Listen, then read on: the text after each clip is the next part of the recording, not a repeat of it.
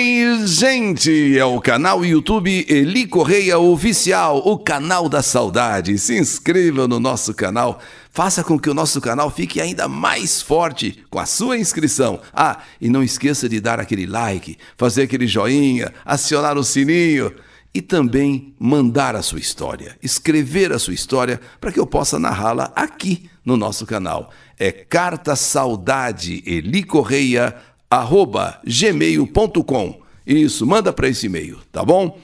E no canal YouTube Eli Correia Oficial, Voo JJ 354, o voo da morte. Era uma noite de agosto do ano 2000. Estava em minha casa em Birigui, interior de São Paulo, com os meus filhos Melissa, na época 24 anos, e André, 19. Meu marido havia recebido uma proposta de trabalho, uma proposta de um bom emprego para Manaus, e havia se mudado para Manaus já há questão de um ano. E foi naquela noite de agosto do ano 2000 que eu atendo o telefone e, sem rodeios e sem meias palavras, ele se dirige a mim dizendo assim: Acabou, acabou, eu não volto mais. Tá ouvindo? Acabou, acabou tudo, eu não volto mais. Eu fiquei pasma. Eu fiquei sem saber o, o que falar. Aliás, eu não disse uma palavra. Aquilo ficou ecoando na minha cabeça. Acabou, acabou, eu não volto mais. Sabe quando você atende o telefone e a pessoa nem lhe dá boa noite, bom dia, nem diz como você está, nada, já vai dizendo o seguinte: olha, eu quero dizer para você que acabou, acabou tudo, eu não volto mais. Eu fiquei chocada pela maneira, pela forma, mas confesso que depois de algum tempo, depois de alguns minutos, refletindo, pensando, senti certo alívio o pai de meus filhos, o pai era um homem genioso, era um homem temperamental, é um homem que eu posso dizer grosso, estúpido. Achei que viveríamos melhor sozinhos. Tirando aquele impacto inicial, aquele impacto assim que recebi ao atender o telefone, comecei a refletir, pensar e achei que melhor era realmente cada um para o seu caminho. Agora, o que eu não imaginava é que ele estava se separando também, vamos dizer assim, entre aspas, das crianças, de nossos filhos. Se separar de mim, ok, mas se separar dos filhos, mas assim foi. Depois de 22 anos e dois filhos, ele apareceu duas ou três vezes e nunca mais deu as caras. Mas mas eu não tinha tempo para lamentar. Eu não tinha tempo a perder. Eu precisava cuidar, vamos dizer assim, de meus filhos, que apesar de crescidos, ainda dependiam de mim. Divorciada, sem ajuda financeira alguma e nem experiência profissional, jamais eu realizaria o sonho de Melissa de terminar o curso de educação física e o sonho de André de se formar em direito se eu não agilizasse, se eu não arregaçasse as mangas, se eu não fosse para a luta. E foi quando então eu tomei uma decisão dificílima: a de ir trabalhar no Japão. Isso mesmo, a de me mudar para o Japão. Arranjei um emprego em uma indústria de componentes eletrônicos e fui com a cara e com a coragem e fui morar e trabalhar no Japão. Quando eu recebia o salário, eu guardava o suficiente para viver e também para vir visitá-los de vez em quando. O restante eu mandava para eles, para que eles tivessem o dinheiro para tocar a vida deles no Brasil. E foi assim pelos sete anos seguintes. Apesar da distância, eles no Brasil, eu no Japão, éramos muito próximos. Trocávamos ligações e cartas com frequência. Falávamos com uma frequência muito grande. Em 2005, a minha filha engravidou. Eu fiquei de coração partido. Sim, por estar tão longe, por estar no Japão e a minha filha aqui no Brasil engravidou. Mas fazer o quê? Ainda precisava trabalhar porque tinha a faculdade do André para pagar e queria juntar um dinheiro para voltar aí sim para o Brasil. Só fui conhecer a Lanes, minha neta, aos nove meses, quando vim então visitá-los aqui no Brasil. Segurá-la nos braços foi uma experiência indescritível, inesquecível. Quando cheguei aqui no Brasil para visitá-los e conhecer a minha neta, ela que já estava com nove meses, e quando eu a segurei nos braços, e quando a beijei, e quando a abracei, que experiência maravilhosa, que experiência inesquecível, indescritível. Era como se sempre tivéssemos vivido juntas. Era a completa felicidade da nossa família. Bem, mas eu tinha de voltar ao Japão. Eu continuava com o meu trabalho lá no Japão, tinha um contrato. Então, depois de voltar ao Japão, ainda vim em fevereiro de 2007 para a formatura do meu caçula, do André. Eu estava realizada. Pensava que minha missão como mãe estava cumprida. André, formado, aprovado e inclusive havia feito o exame da OAB, da ordem, e havia passado, portanto, advogado. Melissa, também com diploma, casada e tinha me dado uma neta, Alanis. A vida era tão boa que fizemos um trato. Eu voltaria uma última vez para o Japão e depois voltaria para o Brasil e ficaria com eles definitivamente. Porém, eu não podia imaginar que eu não teria mais paz nessa que seria a minha última, vamos dizer assim, viagem ao Japão, minha última eh, etapa no Japão. Eu não podia nunca imaginar que seria o momento mais dramático da minha vida. Essa minha última viagem ao Japão seria simplesmente dramática. Não a viagem em si, mas o que viria a acontecer que me tiraria a paz para sempre. Embora feliz por tudo o que eu havia superado, por tudo o que eu havia conquistado, uma vez de volta ao Japão, eu comecei a sentir uma agonia sem saber o porquê. Comecei a sentir uma angústia, uma tristeza eu não entendia o porquê. Sabe quando você fica inquieta, ansiosa? Passei a ligar diariamente para os meus filhos. Até eles estranharam. Mãe, o que está acontecendo? Por que ligar todo dia? E um detalhe, um detalhe. Eu comecei a ler a Bíblia. Eu não era acostumada a ler a Bíblia e de repente comecei a ler a Bíblia. Comecei a ler a Bíblia todos os dias e também passei a ler alguns provérbios japoneses e um deles não saía da minha cabeça. Sim, eram vários os provérbios que eu lia né, do, do, do, Japão, mas um desses provérbios martelava na minha cabeça, não saía da minha cabeça. O bambu é uma árvore forte porque se curva e não briga com o vento. Esse provérbio em si eu repetia praticamente o dia todo. Não que eu repetisse em voz alta para as pessoas, não. Era o tempo todo no meu pensamento. O bambu é uma árvore forte porque se curva e não briga com o vento. Exatamente esse trecho, de certa maneira, viria me preparar para o que estava por acontecer. Sabe, intuição, sexto sentido, premonição. Sim, algo estava para acontecer. Algo eu estava prevendo que iria acontecer. No começo de julho de 2007, meu genro foi a Porto Alegre a trabalho. quase duas semanas depois, prestes a retornar a Birigui, ele convidou Melissa e Alanis para o buscarem no Rio Grande do Sul. Você vem até aqui, a gente aproveita, né, para passar um final de semana gostoso, para passar aqui alguns dias legais aqui em Porto Alegre, que é uma cidade muito boa, uma cidade muito bonita.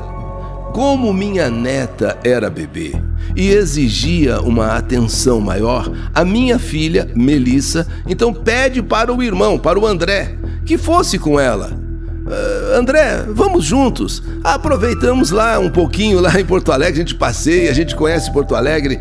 De início, André não queria ir. Mas ele não sabia negar um pedido da irmã. Quando me contaram sobre a viagem lá do Japão, eu tentei dissuadi-los. Tentei tirar da cabeça deles que não fossem para Porto Alegre. Mas não teve jeito. Eles foram. Hoje, reconheço que aquela impressão estranha que eu sentia, aquela coisa que eu não queria que eles viajassem, era na verdade um aviso, era na verdade uma intuição.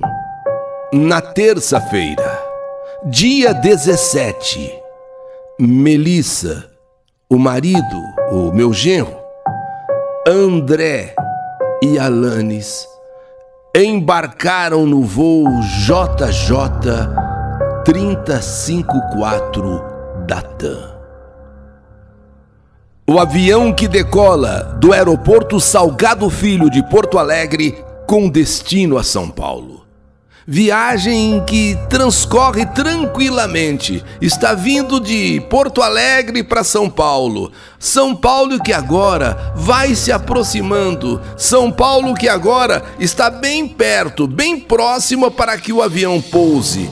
Chegou a hora agora do pouso. O avião, o avião, o voo JJ 354 da TAM Exatamente, o avião agora está se aproximando do aeroporto de Congonhas. Viagem que vai terminando tranquila, como, como deve ser todas as viagens. Então, o avião que vai baixando a sua altura, vai diminuindo a sua distância do aeroporto, quando chega então na cabeceira, pousa os seus pneus aquele primeiro impacto dos pneus na pista do aeroporto, mas de repente, cadê o freio? Cadê o freio? O piloto não consegue frear o avião, o piloto não consegue brecar, parar o avião.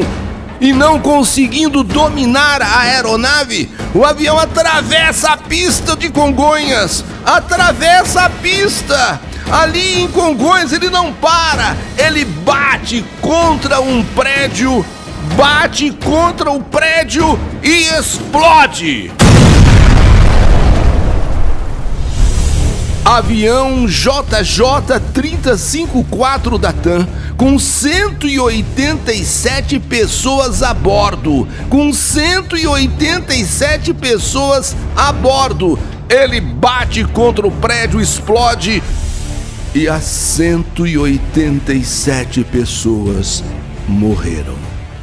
E não só as pessoas que estavam a bordo da aeronave, mas também outras 12 em solo, outras 12 que estavam em terra.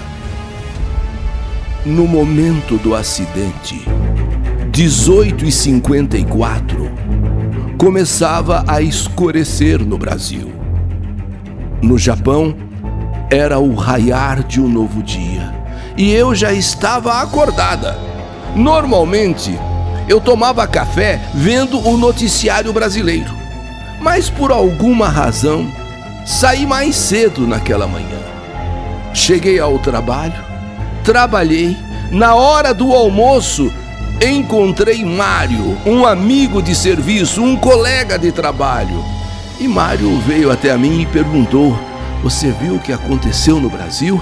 Você viu o que aconteceu lá em São Paulo, lá em Congonhas, lá no aeroporto de Congonhas? Eu olhei para ele e falei: Não, até porque eu saí mais cedo hoje e não assisti o noticiário. Aí ele conta que um avião da TAM havia explodido não, não conseguiu, o piloto não havia conseguido controlar o avião, frear o avião e o avião atravessou a pista, bateu contra um prédio e havia explodido. Na hora, na hora, meus quatro filhos vieram à minha mente. Sim, porque o meu genro eu considerava também um filho. Com a respiração acelerada, eu comecei a chorar. Eu comecei a chorar. Eu respirei fundo, com o coração prestes a sair pela boca. Eu saí correndo pelo refeitório, fui até uma amiga. Amiga, amiga, empresta seu celular. Pelo amor de Deus, empresta seu celular. E disquei o número da casa dos meus pais. Já era madrugada no Brasil. Eu esperava que a ligação chamasse por algum tempo, o suficiente para minha mãe ou meu pai despertar, tatear no escuro até encontrar o telefone e atender. Mas ao contrário, eu acabei de ligar e o telefone foi atendido, o celular foi atendido por uma voz diferente. Uma voz diferente. Era minha cunhada. O que a minha cunhada estaria fazendo a uma hora da manhã no Brasil, na casa dos meus pais? Eu perguntei se havia acontecido alguma coisa. Eu perguntei se havia acontecido alguma coisa. Ela gaguejou. Gaguejou. Eu perguntei três vezes. Aconteceu alguma coisa, pelo amor de Deus? Aconteceu alguma coisa? Sabe aquela intuição? Sabe aquele, aquele sexto sentido? Aquela angústia, aquela tristeza que vinha me acompanhando? Aconteceu alguma coisa? Ela só disse: venha para o Brasil.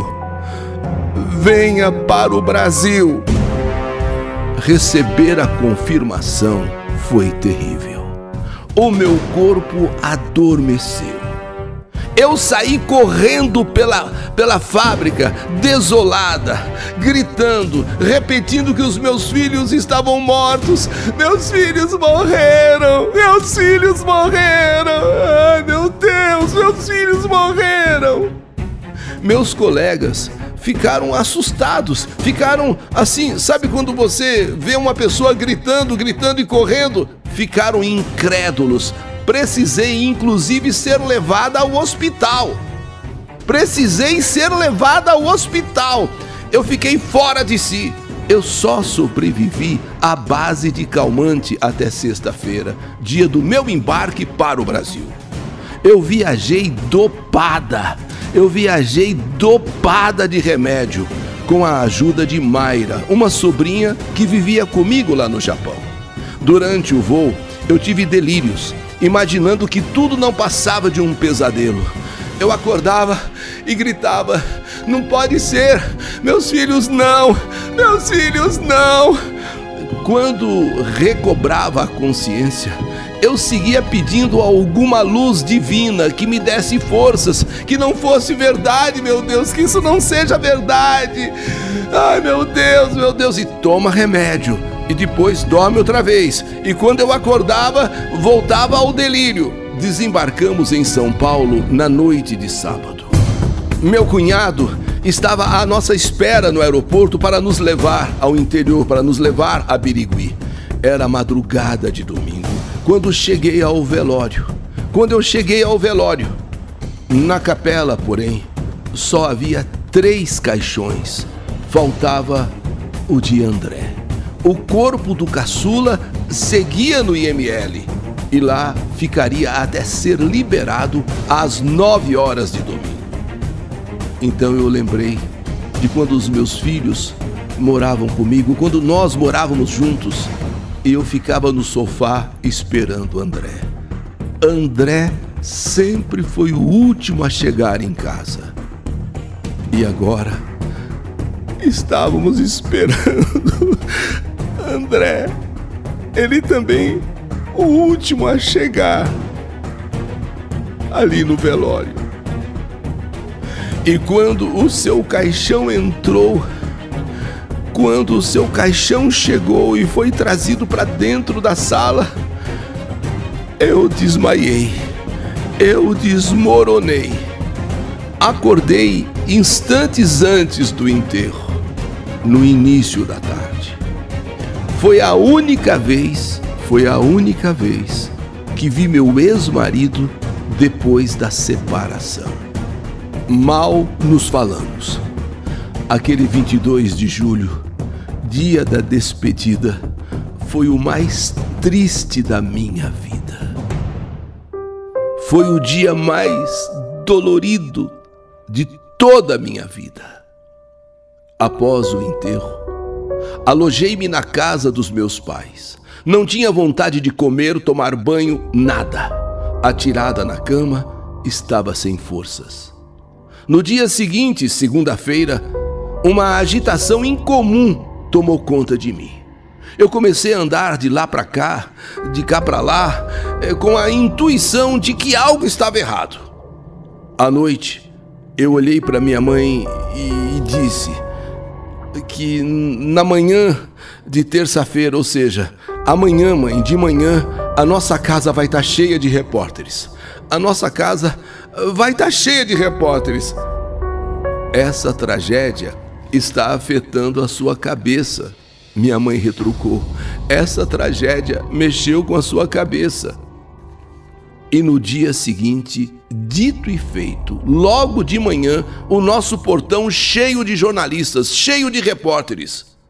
Queriam comentários sobre algo que não sabíamos. O corpo enterrado no jazigo do meu genro.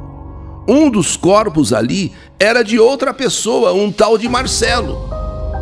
De fato, confirmamos esse erro grosseiro, porque desenterraram aquele rapaz e confirmamos, não era Márcio, o meu genro. Márcio foi finalmente sepultado, mas sem nenhuma cerimônia. Desde então, viver foi difícil. Entrei em depressão profunda, como se tivesse morrido também com os meus filhos. Alimentava-me mal, Visitava o cemitério todos os dias. Espalhei fotos deles pela casa. Chorava muito. Pensava neles o tempo todo. Só consegui entrar na casa de André, onde eu morei com eles, seis meses depois, no caso, a nossa casa. Precisei ainda de mais tempo para sair da casa dos meus pais e me mudar para o sobrado onde Melissa vivia com a sua família. A minha irmã foi morar comigo por recomendação médica. Eu não podia ficar sozinha. Quando ela, minha irmã, se mudou, eu arranjei uma dama de companhia. Um ano depois, uma amiga contou que a filha de uma família bem humilde na minha cidade. Na época, essa filha, com alguns meses, ficara com febre e sem apetite, e eu então me prontifiquei a ajudá-los. Era Larissa, a filha desse casal, e quando eu vi Larissa, ela levantou os bracinhos para mim, exatamente como Alanis fazia. Acho que foi a primeira vez que eu sorri depois da tragédia exatamente essa menina que eu queria cuidar, essa menina que a minha amiga falou que estava com febre doentinha, eu queria, sei lá, de alguma forma cuidar dela. Quando ela me viu, abriu aquele bracinho assim, sabe aqueles bracinhos tão bonitos, que lembrei de minha neta. E foi a primeira vez que eu sorri. Dali em diante, aproximamo-nos como se fôssemos avó e neta. Ela canta assim como um passarinho. O som dela me traz a alegria de preencher um enorme vazio. Todo o amor que eu sentia por Alanis, transferi para Larissa. Não que eu tenha deixado de amar a minha neta, mas agora eu tenho Larissa, minha neta do coração, e uma das grandes responsáveis pela minha recuperação. No começo de 2016, recebi alta da psicóloga. Vencida a depressão, finalmente eu consegui morar sozinha. Seis meses mais tarde, eu estava caminhando com uma prima e cruzamos com um amigo dela, 19 anos mais jovem do que eu. Achei-o simpático, mas apenas isso. Dias depois, ele foi atrás da minha prima perguntando de mim. Achei que achei que era uma coisa, uma bo bobagem, bobeira, mas ele insistiu. E quando me dei conta, estávamos conversando com frequência. Até que o convidei um dia para almoçar em minha casa. Naquele dia, senti algo que há muito, há muito eu não sentia e que estava adormecido. As minhas pernas ficaram bambas, meu coração, ele se acelerou. Quando pensei que nunca mais me entregaria a um amor, vejo que eu estava completamente enganada. Depois de anos em luto, aprendi que a morte não é o fim. Pode ser, sim, começo de uma nova etapa. Tenho certeza de que meus filhos que estão no céu estão comigo aqui espiritualmente e estão felizes por eu estar recomeçando a vida. Nunca eu os esqueço, nunca. Mas eu tenho o direito de recomeçar uma nova etapa na minha vida. E Luciano tem sido essa pessoa que está me dando condições de voltar a viver. Meus filhos queridos, Alanes, minha neta adorada, André e Melissa, e você, Márcio, meu genro, meu filho. Essa é a minha história e a história que lamentavelmente envolveu vocês, tristemente. História que a vida escreveu. Que saudade de vocês! Voo JJ 354 da TAM. O voo da morte. História do canal YouTube Eli Correia Oficial.